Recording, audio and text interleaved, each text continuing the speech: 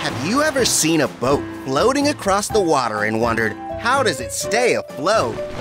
Then come along with Curious George and let's find out.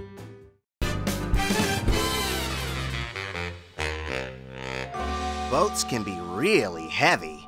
So heavy that they seem like they should sink. After all, if you toss something heavy in the water, it tends to drop right to the bottom. So, what's up? How do ships cruise around carrying so much weight without sinking? Well, people have been wondering that for a long time. All the way back in ancient Greek times, there was a super smart scientist named Archimedes who decided he was going to try and figure it out. He realized that weight isn't what makes something sink. Density is what matters.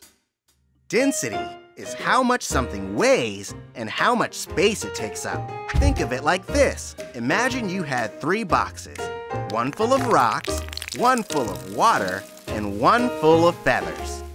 The box of rocks is going to be really heavy, the box of feathers will be pretty light, and the box of water will be somewhere in the middle. Since the rocks are denser than the water, they sink. And since the feathers are less dense, they tend to float. So what does this have to do with big, heavy boats? Shouldn't they sink? Archimedes wondered this too, and figured out why they don't. It's because whenever something enters water, it gets pushed in two directions, both up and down. The boat is pulled down by gravity, but the water also pushes up against it. The water pushes back with the weight of all the water that was moved out of the way by the boat. If a ship, no matter how heavy, weighs less than the water it pushes out of the way, then it stays afloat. Rocks, on the other hand, don't take up very much space for how heavy they are, causing them to sink.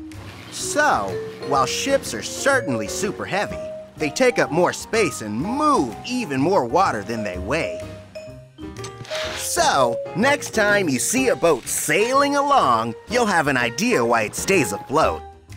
Make sure to check out episodes of your favorite good little monkey, Curious George. Always on Peacock Kids.